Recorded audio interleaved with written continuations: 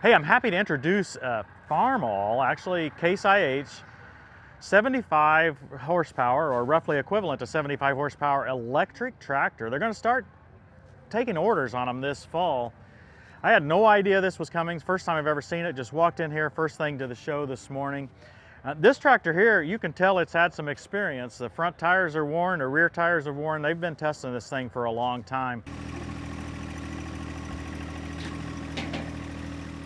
It's got several features that, that I think will be interesting to us, um, uh, given the Solectrac that you've seen at our property and some of the weaknesses that you've seen. This one um, has a, a, charging port here, a standard charging port. If you use regular AC charging, five hour charge time, but it comes with, if you're willing to invest enough money, a, a, DC fast charge option, which you can charge in an hour. Okay, so you could charge it over your lunch break. Supposed to run four hours in most configurations. I think if you put a, a, a, really large implement on it that pulls it really hard, it's going to be less than that. We really don't know too much, but for loader work, they're, they're estimating about four hours. It's got some autonomous features. Now, not really autonomous. You, you, you can't just get out of the cab. It's got several different uh, approaches towards autonomy. It's got a, a, safety mode, and that means if anyone gets close to the tractor, it'll shut down or won't let you uh, get close to someone. It's got a, a mode that's interesting called follow me.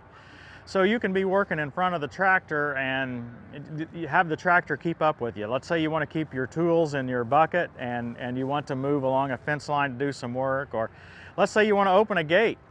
Okay, you don't have to get in the tractor and out of the tractor multiple times because you can you can just go up there and the tractor will follow you through. I guess like your, your, your little dog, I don't know, but uh, that's, that's a pretty neat feature. Uh, it's got a row follow mode, okay, and that's meant for a vineyard application to, to try to keep you in that in, in the rows. I don't really think it's, it's well suited for 30 inch rows to try to do uh, uh Midwestern row crop applications. I don't, I don't think that's the objective. And my favorite, um, I don't even think it's autonomy mode, but my favorite feature, they've got enough cameras on this thing that they can make the bucket invisible. yeah, so they, they basically, uh, on the display, can show the machine without the bucket. So you know how the loader can cause some visibility issues when you're trying to see what's going on in front of you. But with all these cameras, they can kind of stitch them together and they can allow you to see just like your, your bucket isn't there. I'm sure it's not absolutely perfect. There'll probably be edges of it showing or something, but the point is, is that could really improve visibility.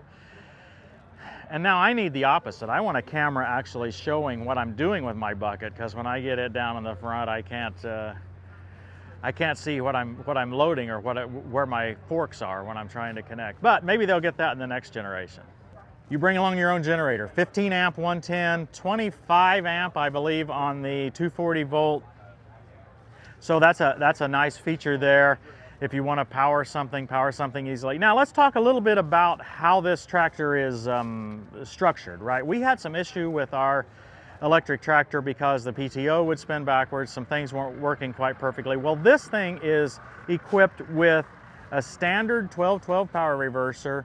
Um, it's essentially the same tractor from the motor from, from, from the tail end of the motor on back, it's essentially the same tractor as the 75 horse Farmall that's um, non-electric, right? That's diesel powered. There's been a few changes. The hydraulic motors have been optimized a little bit to be quieter because there's no noise, right? And so the, the, the initial reports have been talking about how quiet the machine is but just like on our Solectrac, you can hear the hydraulic motors, you can hear what's going on there. So they've done some work to make those hydraulics quieter. Now, what's kind of left unsaid there is that this machine is going to perform in the same fashion you're used to, right? So it's got 12 speeds forward, 12 speeds reverse. It's got a shuttle shift, um, just like uh, most tractors of this class. Your PTO is going to operate the same way. You're going to have a throttle to change the RPM of the electric motor. Um, PTO is going to work forward, reverse. It, it's, it's going to feel like a traditional tractor, except you're not going to hear anything. Again, they're going to start taking orders this fall. They haven't talked about pricing. You know how that goes. Can't get anybody to talk about pricing on these things. It's supposed to be shipping next spring. I'm looking forward to seeing one of these. Maybe I can get them to loan me one. Hey, this is new. Case IH subcompact tractor. I believe this is the 25 SC subcompact. And behind me here is the 25A, 225 horsepower tractors. It's new because it's Case IH. Um, there's not a lot new under the covers. This is the same uh, rebranded LS that we see from New Holland and the same tractor we see from LS as well, both in the subcompact as well as a larger frame 25 horsepower. They refer to it as an economy model. For several years now, Case has not had anything smaller than say 35, 40 horsepower. Um, so this is kind of uh, coming back to, to their roots a little bit. Back in the day, uh, International Harvester had some really nice little tractors and uh, so this is um, this is getting back to it a little bit. Again, made by LS, but uh, available at your Case IH dealer. We're here at the New Holland version of this same tractor that we've been looking at at the Case IH booth.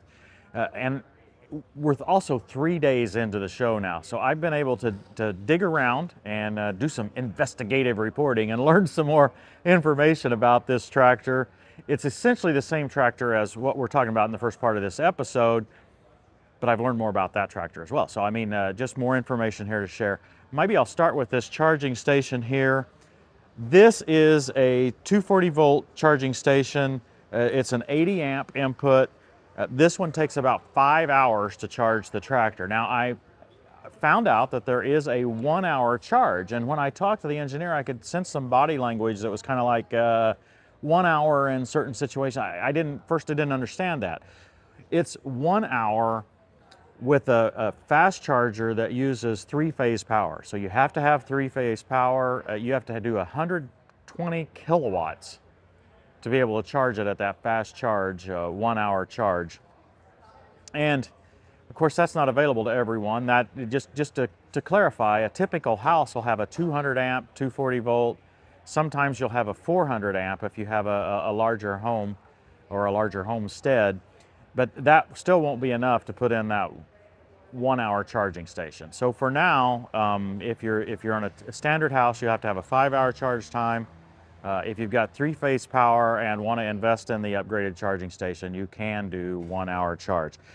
I learned a little bit more about the technology behind this machine as well. Um, some of the autonomy features, uh, uh, just several of the features are borrowed and shared with the Monarch tractor. My understanding is that Case New Holland is one of the investors in Monarch. I don't know how much they own. We probably could look that up, but they, they are working together on this machine. So largely the stuff at the top of the cab, all the, the sensors, the autonomy, that is borrowed heavily from the Monarch. The battery um, and the motor are larger in this machine than they are in the existing Monarch tractor, but there's still some similarities there. Now, I also found that the battery on these machines is cooled. So there's refrigerant that runs through these batteries to keep them cool. That's going to keep the, the, the battery running better longer. So in other words, you'll maintain your power throughout the charge cycle. It won't get hot at the end of the discharge cycle like uh, we might see on some other brands.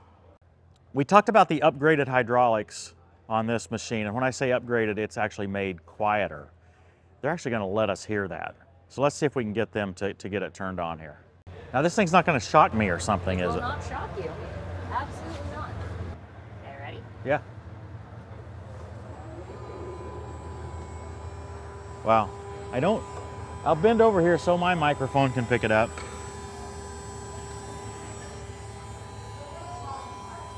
Now this is quieter than the small tractor, I believe, that we have on our property.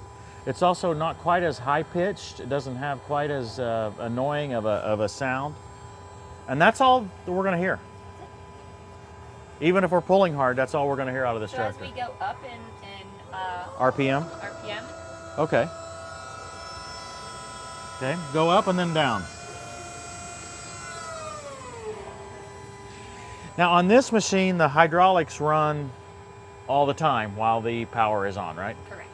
So you, you will hear that uh, at any time and the, and the hydraulics are ready at a moment's notice. So it doesn't go into a standby mode where you have to wait on the hydraulics to, to wake up to be able to use the machine. The color scheme here on the New Holland, this is product color scheme. I guess there's a couple of small changes. The little blue on the rim here is, uh, is extra fancy. That's not going to be there. But this is product. What we saw on the case, that's not product. That was just a show demo. And I, I think I've seen some comments already that they liked that.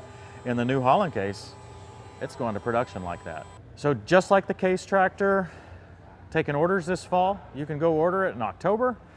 Um, delivery Q1 of next year. Hopefully there's no delays.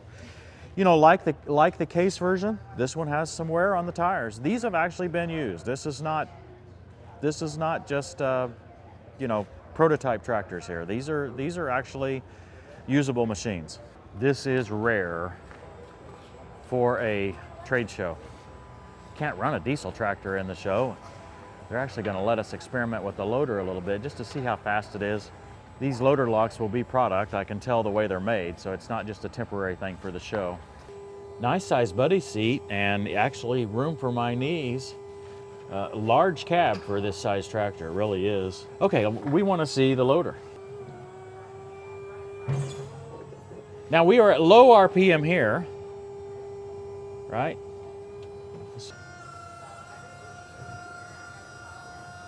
Mechanical self-leveling bucket. Okay. Is that fast as it goes there? That's fast enough. It's about midway. Oh, that was midway That's here. midway. Oh, there's full throttle right there. What is the flow? 48. 48 liters? Yes. 15 gallon? 17, 18 gallon? I think yeah. It's four, right? Isn't? Sorry, I'm American. Yeah, that's okay. So that's our, our high visibility panel so you can see your loader. See, I can actually see the bucket way up there. Yeah. That's that's nice. The the joystick feels very smooth. There's a there's a little bit of a a, a, a, a feature that you have to positively engage it, and it, it, so you're you're not going to accidentally make it move. And, and then it is very smooth to adjust, uh, you know, how aggressive you're moving it up and down. Same with tilt and curl. Um, it's got two displays. Uh, one display here is clearly a GPS display uh, for some of the autonomy. The other display is showing just tractor basic features, you know, battery levels, uh, the current RPM of the motor, what gear you're in, some, some items like that. They really don't want us to, to try to go into detail on the software features of the displays because this one is old, quite frankly. They brought it to the show and they've had several software updates since what they've got on this machine. And so they want to make sure that we, when, when they actually show it to customers, um, that they show an up-to-date version, right? So they, they don't want to they don't want to show this prototype screen, which makes perfect sense to me. I'm just going to say that it's a high-resolution display. Um, both of them are high-resolution display, uh, and and in that sense, they look uh, very nice. Uh, the features are are wonderful. The cabin here overall is very luxurious. This is an, an incredibly nice machine uh, that's, got shuttle shift, just like we, we talked about before, 1212 power shift. Um, that's parked there where I'm going to leave it. Um, it. It's very, very comfortable. One thing I noticed quickly is that the joystick, for my taste, is a little bit uh, too far forward uh, when I have the seat all the way back. But uh, this, other than that, I mean, this just this just feels like a luxurious machine. Hey, if you have any questions, let us know in the comments section below. We're not trying to push electric technology. We're trying to tell you what's new and what's available. Um, like the old Fox News that was reputable used to say, we report, you decide. We're trying to provide as much information as we can on these machines in a way that you can, can understand and apply it to perhaps your situation. Let us know your thoughts in the comments section. We'd be happy to hear them. Thanks for watching, everybody. We'll see you next time on Tractor Time with Tim. Those who work their land will have abundant food, but those who chase fantasies have no sense. So it's spinning now? I, I don't even hear it. Uh, 540 or It 1000? isn't 540. I can put in 540 if you want. Oh, you can have either one? Yeah, we have 540, 540. 540 or 540E. Okay, great.